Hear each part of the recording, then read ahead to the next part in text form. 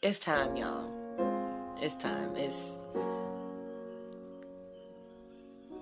this thing that I'm holding in my hand, this telephone, this camera, it is quite powerful. Um, social media is powerful. We can do something with this. If we want to change, we can really, truly make it happen.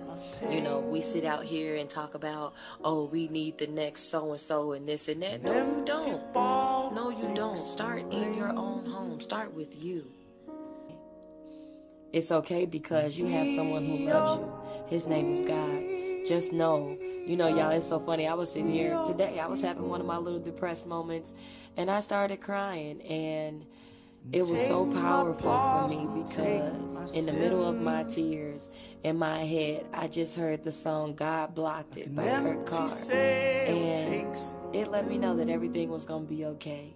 God had blocked that depressing moment. He blocked that thought and that, that time that I felt like I needed to sit here and cry. He let me know, no, God blocked it. You have got work to do. Tell me something